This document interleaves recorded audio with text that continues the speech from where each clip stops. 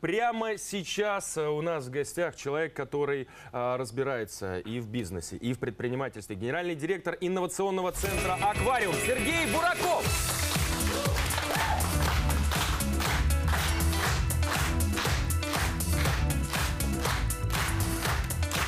Доброе утро, Сергей. Доброе утро. Ну, не будем ходить вокруг да около. Рассказывайте, чем сейчас вообще занимается центр, кому туда бежать, кому лететь, кому не лететь. Эм, Центр развивается, занимается развитием технологических предпринимателей. А, не развитием всех предпринимателей вообще, а вот у нас узкая направленность именно на технологическое предпринимательство. А, Если поподробнее, спасибо большое. А, Если поподробнее, технологические предприниматели, с чем это связано? А, Что это такое, да? А, В отдельную там область это выделилось в 90-х годах прошлого года. Да, держим, держим осанку, я помню. Да, не зря же мы совет посмотрели. А, а, в 90-х годах прошлого века. а, И оно возникло на стыке предпринимательства традиционного с, а, ну, с некоторыми инновационными составляющими. Ну, то есть начался вот этот технологический процесс, да, Да, да, наверное, да, да. более ярко Да, и выражаться в как нашей раз- стране. Ну, Прогресс и не- процесс. Не только в нашей Ну, так стране, звучит, да. Это, в это- 90-х годах прошлого века, как это- будто это было так давно. Я только родилась, прекрати. И когда, соответственно, а, оно выделилось в отдельную область, основное отличие там, технологического предпринимательства от а, традиционного, да, в традиционном спрос рождает предложение. Ну, то есть вы видите, там, не знаю, оживленный перекресток а, без а, единой точки фастфуда, например, да, и понимаете, что, Понимаете? наверное, пойдет. Ставим, пробуем, проверяем.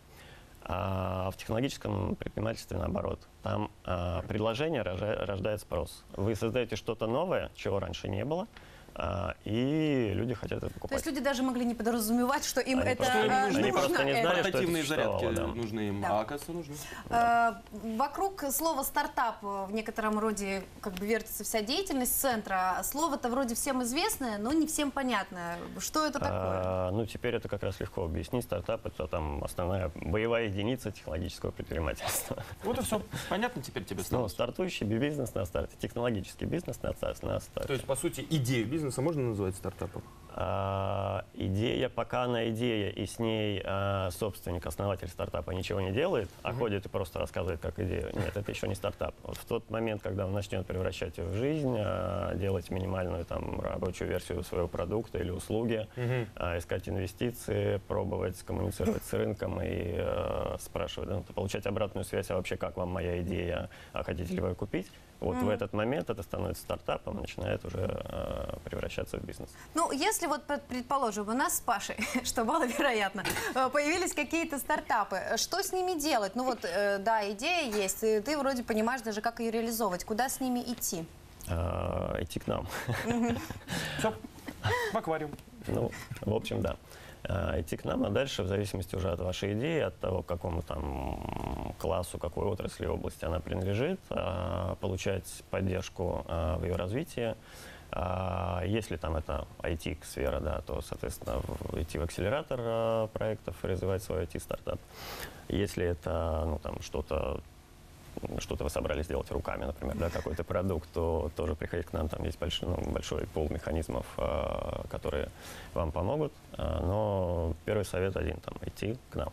Да, но на начальных этапах э, мало человек разбирается в этом. И э, наставник, и инвестор – это две важные э, такие Ну, вот безусловно. фигуры Да. в жизни молодого предпринимателя. О программе наставничества могли бы рассказать? Совместно с фондом или там по инициативе Фонда развития бизнеса Краснодарского края, да, там а, в этом году запущена масштабная программа наставничества, она действительно самая, наверное, масштабная в стране. А, Суть в том, что предприниматели опытные, набившие шишки, знающие, как запускать бизнес, а скорее всего уже и не один, а, знающие, как а, терять бизнес. Это болезненное, но очень важное знание. А, Наставляют как раз стартапы и делятся с ними своим опытом, своими знаниями, своим, там, не знаю, зачастую знаниями даже не столько про бизнес, а, например, про то, как совместить, не знаю, там, Work-life balance это называется, да, то есть ну, баланс э, личной, Личной жизни, жизни с, э, и с работой, да, чтобы не выгорать, чтобы все успевать и чтобы там ну, у вас хватило вашего ресурса на завершение Ну, то есть такой учитель в большом, в более Куратор, объемном да. смысле А, этого ну да, слова. да, да, там много у него названий, наставник, ментор, коуч, это в принципе все ну, А схоже, но- инвестиции, если мы говорим про инвесторов, то есть как, как выглядит этот процесс? То есть вроде идея есть, где найти э, средства на ее реализацию? И сидит человек где-то такой, у меня много денег, куда бы их Куда вложить? бы? Как их совместить, этих двух? А, инвестор – это, а, с одной стороны, необходимая для стартапа вещь инвестиции, да, полученная от него для развития стартапа. С другой стороны, это, наверное, самый страшный экзамен стартапа, страшнее, чем в институте, а, стартапу презентовать свой проект инвестору. Именно там в эти, в демо-дни, да, когда они презентуют свои проекты, когда они пытаются там по сути, продать свой, а, не продукт в данном случае, а именно бизнес, да, часть своего бизнеса инвестору, например. А, Для них самая стрессовая наверное, ситуация происходит, но если инвестор верит а, в эту идею, в этот стартап, он вкладывается. Там а, в жизненном цикле стартапа много разных там уже целая классификация есть, да, какого размера инвестиций, от какого вида инвесторов на разных этапах ну, происходят. А, Поначалу там они разделяются по степени риска, да, понятно, что там, когда стартап еще на уровне идеи, вкладывать в него деньги, ну, очень Очень высокорискованная рискованно. Мгм. операция, да, никто не вкладывает много, э, вкладывают, там, действительно, если верит идею. Потом, когда уже появляется продукт или услуга, когда он выходит на рынок, а, когда появляются продажи, то есть а, ну, потребитель принимает эту услугу, там уже, ну, во-первых, необходим рост кратный э, стартапы, и нужны большие инвестиции. Во-вторых, э, нужны, соответственно, уже совсем другие инвесторы. Это уже Вот, не э, бизнес-ангелы. э, К слову про идеи, э, мы с Пашей решили подготовить несколько идей, э, Для как нам стартапов. кажется, очень технологичных. Да, и, пожалуйста, это мы вот так, на вскидку, вот с, с утра на- на- накидали 5, билетов у меня тут, как, как на, на экзамене. Да сразу все посмотрим, и вы скажете, что из этого вообще имеет место Э, место. Давайте. Так. А, По-моему, придуман электровдеватель шнурков. а, Электровдеватель. Ну, вдруг. У меня нет шнурков, кстати. Автоматически зашнурованные шнурующиеся кроссовки я, по-моему, уже видел. Уже есть, откладываем. Так,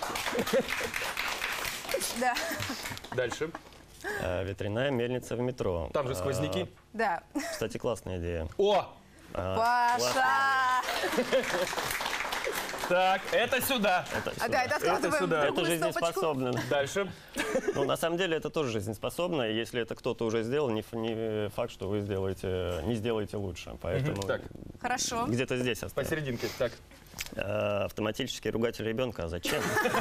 Ну, у тебя сил нет, с работы пришел, и еще и на ребенка А у него ругаться, он без сил уроков нет. сидит тут. А он, и он его и за математику, и за географию, и за невыпали Мотиватор.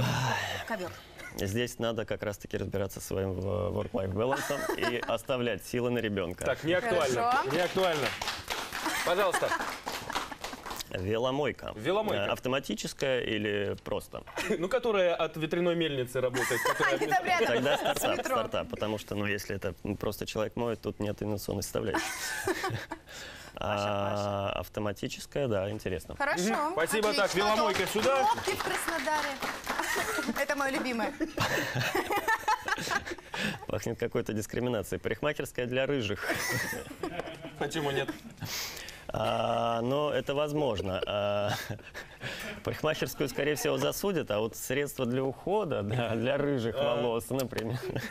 Вот з- Мне э, кажется- как, как, э, здорово. Мы думали, что это все достаточно безнадежные идеи, а э, новый взгляд со стороны специалиста показал, что в принципе-то из этого что-то может дельное выйти. Сергей, огромное вам спасибо, друзья. Не стесняйтесь и не бойтесь э, пробовать себя предпринимательстве, в бизнесе. Главное, э, ну, как это говорится, не Не сидеть на бойтесь месте. ошибаться, да. Не бойтесь ошибаться, друзья. Кто, как говорится, не падал, тот не вставал.